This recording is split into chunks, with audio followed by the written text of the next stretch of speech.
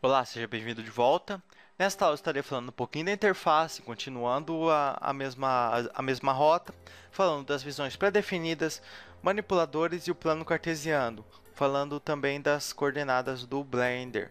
Primeiramente, estarei resetando aqui minha área de trabalho, criando um novo projeto, File, New. Veja, ó, eu iniciei para o Blender aqui com a interface padrão, com os objetos locados por padrão. Bem, você deve ter percebido que a gente está num ambiente tridimensional, não é mesmo? Como eu faço a movimentação, as transformações dentro desse ambiente? Você deve ter percebido que cada um dos painéis, seja o Outliner, painel de propriedades, minha timeline, a minha viewport e até mesmo o painel de informação, como eu disse na última aula, tem menus, não é mesmo? E nesses menus, nessas barrinhas, tem uma série de opções. E na minha viewport eu tenho aqui no Outliner eu tenho Search, tenho View. Aqui no meu, no meu painel de propriedades eu tenho os, bot os botõezinhos também. E aqui eu tenho os menus também da minha timeline.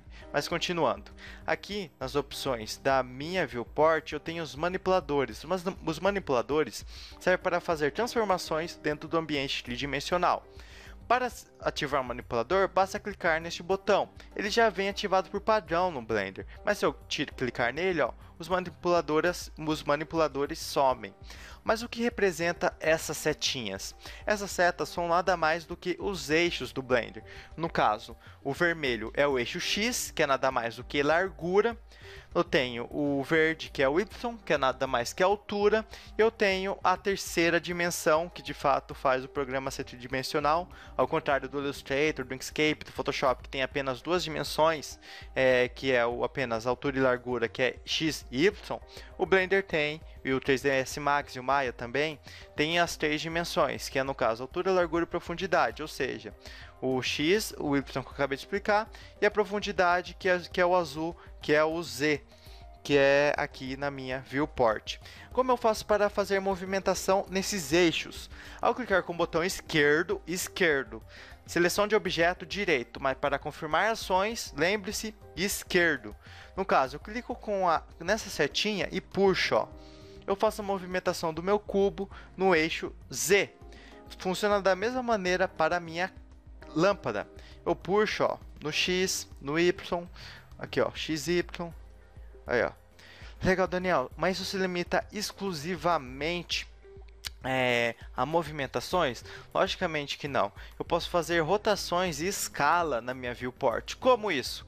Aqui nas opções de manipuladores, ao clicar neste arco, o Blender automaticamente transforma os meus manipuladores em arcos. O que são esses arcos? São nada mais do que é, é, ações de rotação. Ao clicar com o botão esquerdo, no caso no, no, no arco vermelho, eu faço a rotação no eixo X. Mesma coisa no verde, no Y, mesma coisa no Z, no azul.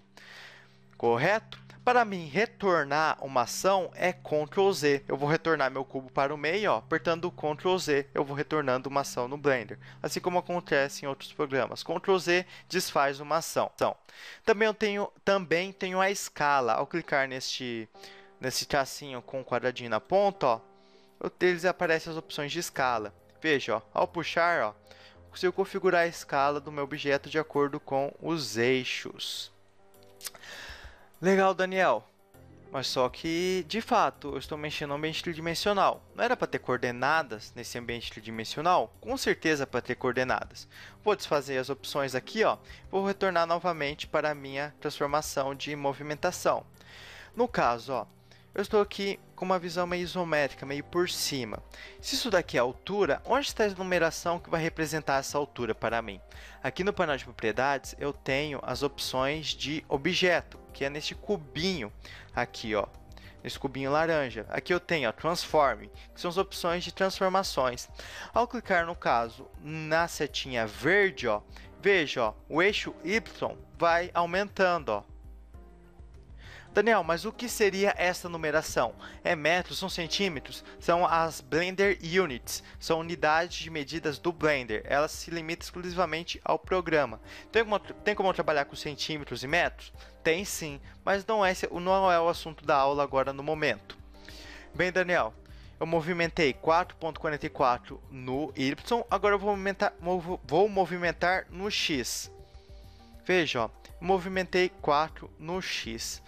Mas peraí, isso aqui não é um tanto quanto familiar? É sim, é um plano cartesiano. Como assim? Você se lembra lá na escola, aquele, aquele X que a professora desenhava na, na, na lousa? Eu estou falando X para poder ilustrar, porque aquilo chama plano cartesiano. Você lembra aqueles traços que a professora fazia, que era o X, depois você colocava é, x, é, x negativo, y negativo, depois x positivo e y positivo, é nada mais do que isso, ó. y positivo, x positivo, y negativo e x negativo. Interessante, não é mesmo? Eu vou fazer as ações aqui, ó, e vou clicar aqui no caso no eixo x. Eu vou, vou subir para cima, não, vou colocá-lo negativo. Veja o que acontece, menos 5. Agora eu vou movimentá-lo no, no X, eu quero fazê-lo positivo. Coloco 4. Veja só, aquilo lá que a gente aprendeu na escola é útil aqui no Blender. Ou seja, se você sabe, tem conhecimento do que seria o plano cartesiano, você vai ter noção de movimentação aqui no Blender. Mas só que não se limita exclusivamente à localização aqui nas minhas coordenadas. Também eu tenho rotação. Mesmo sem selecionar o, o, o manipulador aqui, eu posso vir aqui e mudar a rotação. No caso, ó, se eu rotacionar, colocar 90 graus aqui no X, veja o que acontece. Ó. Ele rotacionou 90 graus, só que tem um porém, isso é um cubo. Se rotacionar 90 graus, não vai aparecer nada. Então vamos colocar 45 graus. Veja, rotacionei 45 graus no Blender. Correto? Só que se eu quiser deletar, eu venho aqui, ó, coloco zero, resetei a minha rotação. Correto? Então, pessoal, dando continuidade, eu também tenho a escala. Se eu colocar, no caso, no eixo X 10, ó, eu coloquei 10 de tamanho de escala na minha viewport. Aí, ó, 1, 1 e 1. Eu não posso zerar, porque senão só meu, meu objeto. 0 é 0. Zero não tem volume, zero não tem tamanho, enfim. Bem, então aqui eu tenho sistema de rotação. Sempre que você não vê com numerações assim, no sistema de localização de coordenadas, em qualquer programa, a sequência é a mesma. x, y, z. x, y, z. Então, você acabou de aprender aqui com relação às coordenadas do Blender, como eu faço é, a mudança de forma numérica. Mas vou exemplificar um pouquinho melhor com relação à rotação correto? Então, se eu puxar o meu arco X para trás, ó, veja, ó, ele está fazendo positivo. Mas se eu colocar para o outro lado, ó, ele vai fazer negativo. Ou seja, a rotação também funciona de forma negativa. Eu posso vir aqui e colocar ó, menos 45 graus. Correto? Então, pessoal, vamos resetar agora essas rotações. Vou resetar, vou deletar meu cubo e vou adicionar um novo compreendendo, vamos aprender o um novo comando, Shift A, Cube. Foi adicionado um novo cubo na minha área de trabalho. Shift A serve para adicionar novos objetos. Neste menu existem inúmeras opções de desde, desde para adicionar um plane comum, mover esfera, mas enfim, não importa isso agora. Se, se você quiser ver novos objetos aí, você pode acompanhar enquanto você vê a aula, você pode adicionar novos objetos. Mas enfim. Você deve ter percebido que o objeto foi para o meio. Ele não foi para o meio, ele foi para o meu cursor. Ao clicar com o esquerdo aqui, o meu cursor fica aqui na minha viewport. Ao adicionar um novo cubo, ó, meu cubo foi para lá. Por isso que eu falei para você deixar sempre no meio. Eu aperto Shift C, que meu, o meu cursor volta para o meio. Ah, esqueci de dizer, delete deleta objeto, vai aparecer um menuzinho. Aperto com o botão esquerdo, confirmo que o meu objeto foi excluído. Bem, vamos dividir a nossa viewport. Correto? Veja, eu tenho minha viewport é, dividido em dois. Qual a utilidade disso? Vamos lá então.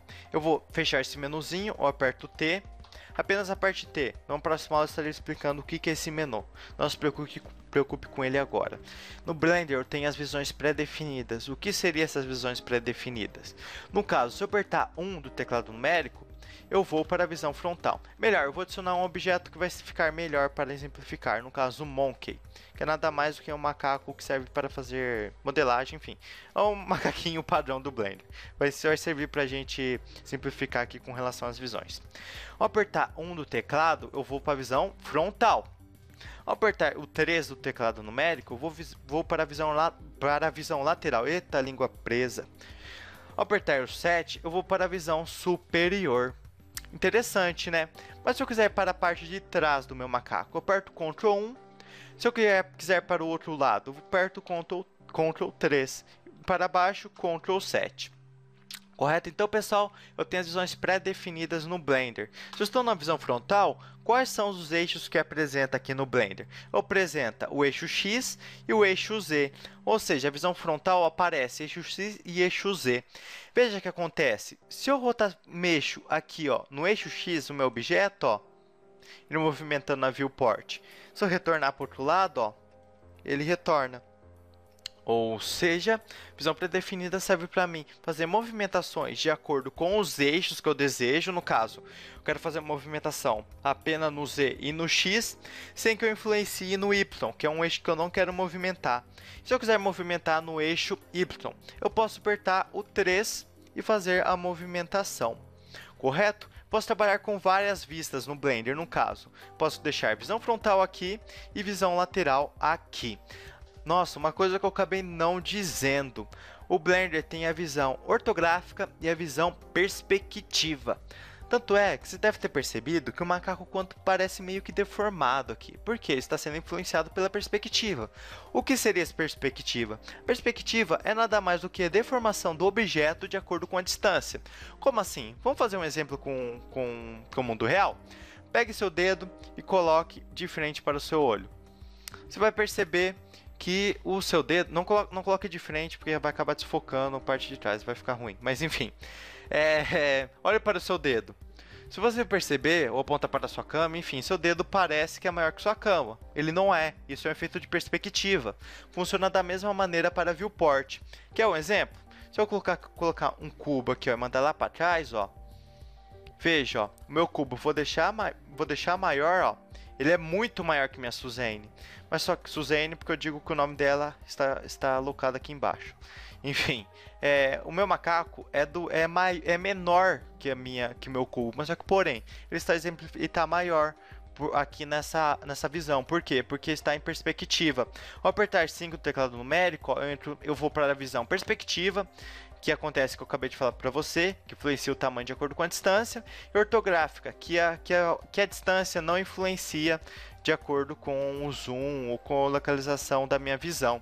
Ou seja, sempre que você for trabalhar com um Blender, procure trabalhar com, com visão ortográfica, que a perspectiva não influencia. Para alternar entre perspectiva ortográfica, basta clicar com, com clicar o 5 do teclado numérico.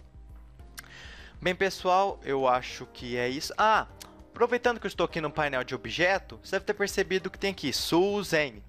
Ao clicar aqui e colocar, no caso, macaca, eu consigo nomear meu objeto. Tanto é que se aqui embaixo na minha viewport, que mostra o nome do meu objeto, mudou também.